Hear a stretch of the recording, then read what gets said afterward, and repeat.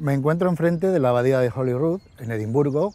Me he desplazado a Escocia para ambientarme en una próxima novela y también porque la portada de este libro, El batallador imaginado, se ha diseñado en Edimburgo. Yo destacaría tres singularidades de este libro.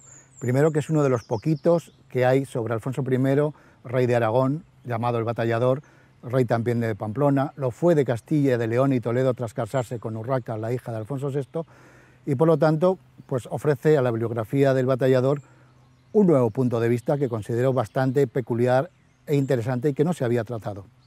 La segunda peculiaridad que me gustaría destacar es la iconología dedicada al batallador desde su propia época.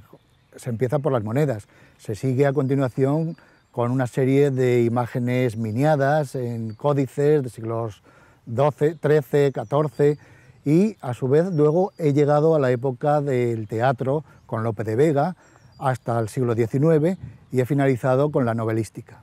Por último, quiero destacar la sección propiamente literaria.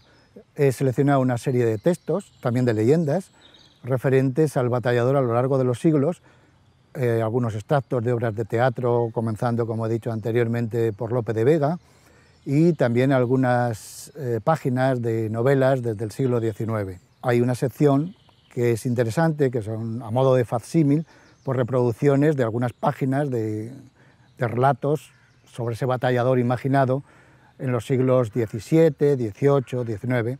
Así que creo que en total conforma un libro original, interesante, ameno para leer y os invito a que efectivamente lo tengáis en vuestra biblioteca personal.